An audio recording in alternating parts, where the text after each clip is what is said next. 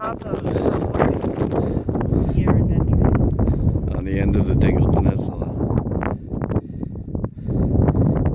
Spectacular views from up here.